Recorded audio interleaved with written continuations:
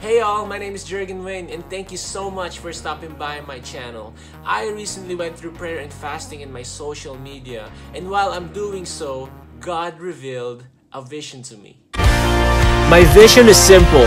I want to bring Jesus through the lens of this generation.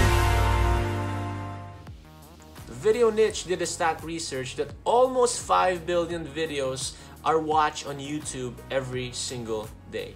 Can you imagine how many people are scrolling and finding inspirational videos every day in the entire world?